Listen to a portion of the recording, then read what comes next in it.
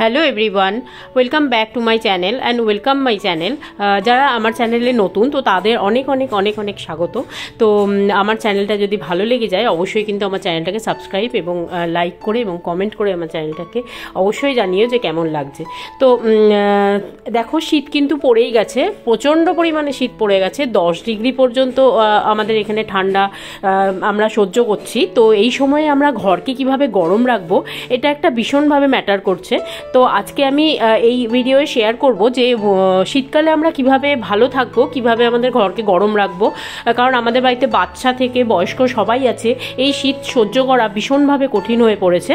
তো আমি কীভাবে আমার ঘরকে গরম রাখছি, কীভাবে আমার বাচ্চাকে ভালো রাখছি, সেটাই তোমাদের সাথে আজকে শেয়ার করব বলে ঠিক করলাম। তো চলো, আজকের ভিডিওটা শুরু করা যাক এবং কেমন লাগল অবশ্যই কিন্তু কমেন্ট করে জানাতে একদম ভুলো না।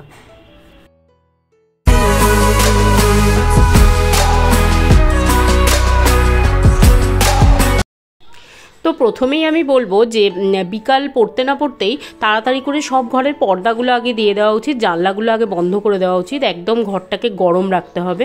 ঘর ঠান্ডা যেন একদম না হয়ে যায়। মানে বিকেলের পর জানলা খুলে রাখলেই ঘর ঠান্ডা হয়ে থাকবে। তো সেই জন্য সব ঘরের অবশ্যই করে সমস্ত জানলা বন্ধ করে পর্দাগুলো দিয়ে দিতে হবে। তাহলে ঘরগুলো কিন্তু অনেক গরম রাখা যাবে।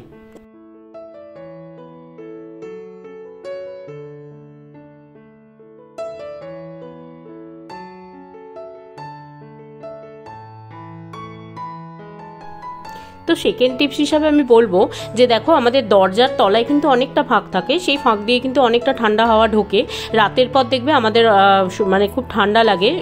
লেপ কম্বল যতই আমরা গায়ে দিই না কেন, আমাদের কিন্তু খুব ঠান্ডা লেগে যাচ্ছে। যেহেতু এত ঠান্ডা, আমাদের দেশে তো এত ঠান্ডা থাকে না, আমরা এত ঠান্ডা সহ্য করতে পারি না। তো এইটা যদি দেওয়া যায়, বাচ্চা থেকে বয়স্ক, এমনকি আমরা পর্যন্ত এই ঠান্ডায় এফেক্টেড হব না। তো তলায় যদি আমরা এক- একটা করে কাপড় দিয়ে দিই যে কোনো পুরনো কাপড় আহ, যেগুলো আমরা ব্যবহার করি না সেগুলো যদি তলায় দিয়ে রাখতে পারি বিকেল থেকে ঘরটা কিন্তু অনেকটা গরম রাখতে পারব। তো থার্ড টিপ হিসাবে বলব যে, দেখো আমরা যেখানে বসি, সোফা বা খাট যে কোনো জায়গায় মানে মেঝেটা থেকে ভীষণভাবে ড্যাম্প ওঠে, তো সেখানে পাটা পড়লে কিন্তু আমাদের খুব ঠান্ডা লেগে যাচ্ছে। তো সেইখানে যদি আমরা এরকমভাবে কার্পেট দিয়ে দিই তো সেখানেও কিন্তু আমাদের ঠান্ডাটা অনেকভাবে প্রোটেক্ট হয়। তো যদি কার্পেট না থাকে কোনো পুরনো কম্বলও তোমরা দিয়ে দিতে পারো, এখানেও কিন্তু অনেকটা ঠান্ডা আটকাবে।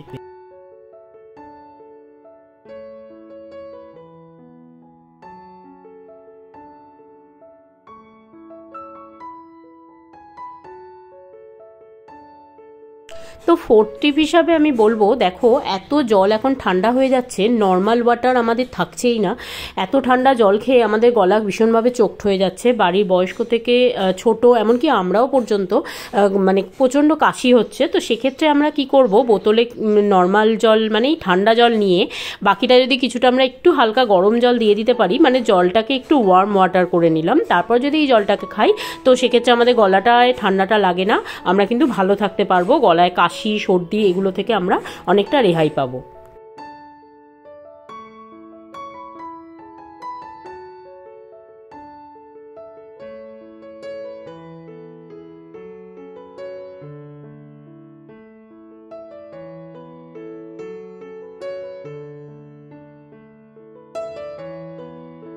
তো ফিফটি হিসাবে বলব যে কম্বলকে কিন্তু বাড়িতে একদম এলোমেলোভাবে অগোছালো করে রেখো না, তাহলে কম্বলটা ঠান্ডা হয়ে যাবে আর রাতে যখন আমরা শুতে যাব তখন কিন্তু আমরা গরম কম্বলটা পাবো না। সেই জন্য প্রতিদিনই সকালে ঘুম থেকে উঠে আমরা কম্বলটাকে কিন্তু ভাঁজ করে নেব। এতে কিন্তু কম্বলটা অনেকটা গরম থাকবে। পারলে যদি আমরা একটু রোদে দিয়ে দিতে পারি দিনের বেলা, তাহলে কিন্তু আরও ভালো হয়। তাহলে রাতে শোয়ার সময় আমরা গরম কম্বলটা পাবো এবং আমাদের শরীরটাও বেশ অনেকটা গরম থাকবে। তো সেক্ষেত্রে কিন্তু কম্বলটাকে ভাঁজ করে নেওয়াটা ভীষণ দরকার। আর আহ, এর সাথে সাথে আমি বলব যে দেখো আমার ঘরে কিন্তু যেহেতু রুম হিটার নেই আমি কিন্তু আমার হেয়ার ড্রায়ারটা এই ক্ষেত্রে আমি খুব কাজে লাগাচ্ছি। এটা আমায় ভীষণভাবে এই শীতে হেল্প করছে। সেটা হলো যে এই কম্বলটা আমি কি করছি কম্বলটার মধ্যে হেয়ার ড্রায়ারটা কিছুটা দিয়ে আমি কিন্তু কম্বলটাকে রাতে শোয়ার আগে একটু গরম করে নিচ্ছি। এতে কিন্তু আমার পাটা ঠান্ডা পাটা অনেকটা গরম হয়ে যাচ্ছে। আর খুব উপকার দিচ্ছে। ভীষণ গরম পাচ্ছি আমি কম্বলটা। আর খুব হেল্প হচ্ছে, তো তোমরা এটাও করতে পারো। আর তোমাদের বাড়িতে যদি হট প্যাড থেকে থাকে, তো সেক্ষেত্রেও বিজনার তলায় তোমরা দিয়ে দিতে পারো। আমার ওটা ছিল, কিন্তু খারাপ হয়ে গেছে, তাই তোমাদের সাথে শেয়ার করতে পারছি না। ওটাও ভীষণভাবে হেল্প করে, তো আমি এই হেয়ার ড্রায়ারটা এক্ষেত্রে ভীষণ হেল্পফুল হিসাবে পেয়েছি, তাই তোমাদের সাথে বলছি, তোমরাও এটা করতে পারো। তো ছ নম্বর টিপস আমি বলব যে যখনই সকালে ঘরে রোদ আসতে শুরু করে জানলা দিয়ে, সে জানলাটা অবশ্যই খুলে দাও। ঘরে রোদ ঢোকার ভীষণভাবে দরকার, না হলে কিন্তু ঘরটা খুব স্যাঁতস্যাঁতে হয়ে যাবে, ঘরটা মানে গরম থাকবে না। তো এই ক্ষেত্রে জানলাটা খুললে অবশ্যই কিন্তু জানলাটায় রোদ ঢুকতে দাও। আর এই রোদ ঢোকার সাথে সাথে অবশ্যই কিন্তু ঘরে যে কটা বালিশ আছে আমরা মাথায় দিই, সেই বালিশগুলোকে একটু রোদে দিয়ে নাও। তাহলে কি হবে? রোদে বালিশটাও গরম হয়ে যাবে, সাথে সাথে বিছনাটাও গরম হয়ে যাবে। ঘরের মধ্যে রোদ ঢুকলে অনেকটা এয়ারটাও অনেক শুদ্ধ হবে আর কি। রোদ অনেক কিছুকে পলিউশনকে মেরে দেয়। তো দেখো, আমি বালিশগুলোকেও রোদে দিয়ে নিয়ে একটু গরম করে নিই, পারলে কম্বলটাকেও দিয়ে নিই। তো আজকে বালিশগুলোকে দিয়েছি রেগুলার ইউজের বালিশগুলো ভীষণভাবে ঘাড়েও অনেকটা আরাম পায় ঘাটটা। তো এক্ষেত্রে বালিশগুলো রোদে পেলে আমাদের শরীরটাও অনেকটা গরম থাকবে।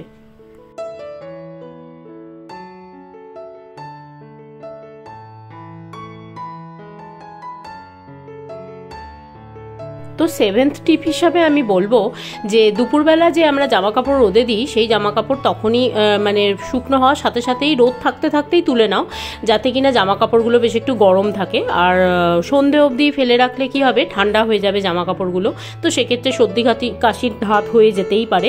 তো সেই জন্য আমাদেরকে সবসময়ই চেষ্টা করতে হবে যে রোদ থাকতে থাকতেই জামা কাপড়গুলো তুলে নিয়ে, আবার সেটাকে ভাঁজ করে তুলে রাখতে ওয়ার্ড্রপে যাতে কিনা অনেকক্ষণ গরম থাকে জামা কাপড়গুলো তো এইভাবে ফলো করলে পরেই কিন্তু আমরা আমরা অনেকটা ভালো থাকতে পারব এই ঠান্ডায়, প্রচণ্ড ঠান্ডায়। প্রচণ্ড ঠান্ডা পড়েছে, তো আশা করি আজকের এই ভিডিওটা তোমাদের অনেকটা হেল্প হবে। তো চলো আজকে ভিডিওটা যদি ভালো লেগে থাকে, অবশ্যই কিন্তু একটা লাইক করে দিও। আর কমেন্ট করতে একদম ভুলো না যে কেমন লাগল না লাগল। আর অবশ্যই কিন্তু চ্যানেলটাকে সাবস্ক্রাইব করে নিয়ে পাশে থেকো। আর অবশ্যই বেল আইকনটা অবশ্যই অল করে নিও, যাতে কিনা আমি ভিডিও আপলোড করার সাথে সাথে তোমাদের কাছে সঙ্গে সঙ্গে পৌঁছে যায়। তো, চলো আজকের মতো, টাটা। অবশ্যই তোমরা কিন্তু ভালো থেকো।